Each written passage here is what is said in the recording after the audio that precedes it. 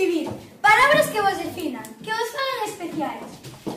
Poñedes o vosso nome no centro da folla, decorádelo e logo sacades esas palabras unidas con liñas. Vedes, e por aquí podedes sacar outra, máis ou menos así, vedes? Sí. Pois a ver como fago esta tarefa. En min non hai nada especial.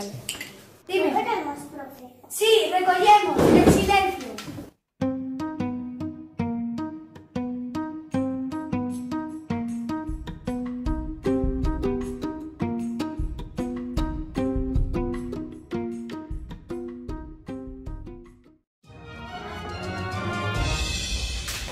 Que faz?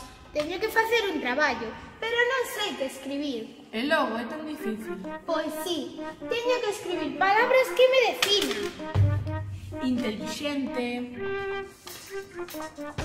Amable. Y sodilo porque son tu afición. Disonada. ¡Ala, ala! ¡Sándame un cuarto! ¡Déjame trabajar!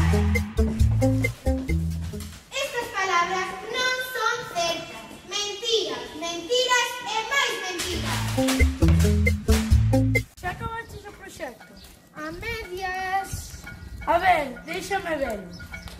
Ε, τι, ε, σταματάξεις. Κάσε.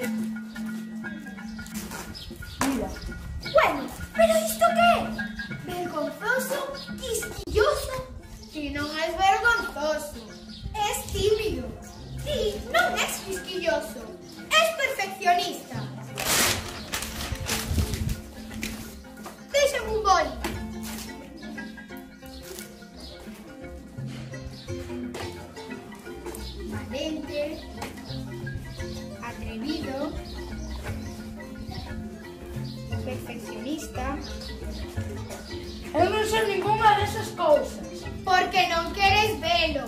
Anda, guarda isto. Vale, pero non te enfades. E ti que escribiches? Déxame ver. Xa che dixen que aínda non te.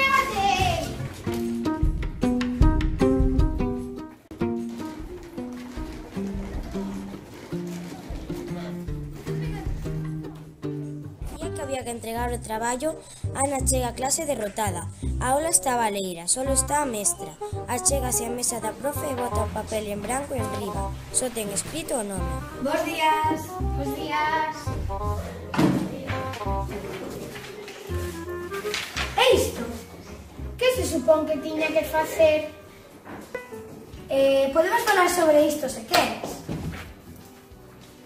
Cuidadosa, responsable, pero traballadora. Pero eu non son nada disso.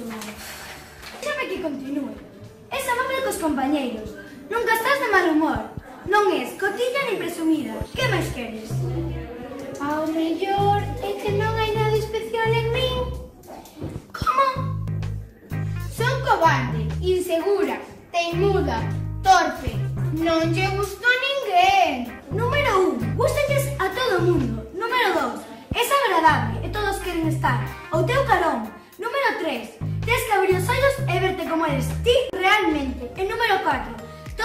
escribir nesta folla, descríbete.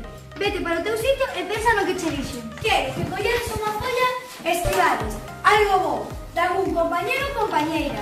Agora, profe? Sí, agora, colleres unha folla e escribides algo bo de algún compañero ou compañera que vos pensedes que describen a esa persona que lexides.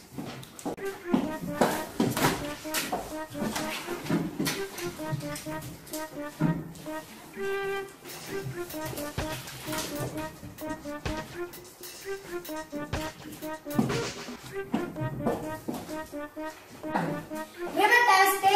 Sí. A ver, Lola, léndote, pero no digas o nome. A ver, so, a ver, so Simpática, traballadora, alegre, boa compañeira, lista. Que crees que pode ser? María. Mm Ana. Pues sí, claro que Ana. A ver, Luis, lámate. Amable, trabajador, gracioso, bonillante. Ya sé, ya sé, es Lucas.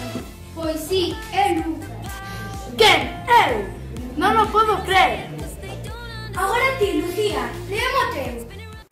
Puxen, boa persoa, coidadosa, legal, amigable, boa actriz... Eu, eu, eu sei, no! Dime, é Ana! Atinaches, é Ana. Moi ben! Pero... eu cría... Grazas, rapaces! Teño moita sorte de que se xades os meus compañeiros! Así, pouco a pouco, Ana comezou a entender que era perfecta tal como era. Só tiña que ter máis confianza en si sí mesma e coa axuda dos seus amigos seguro que o acababa conseguindo.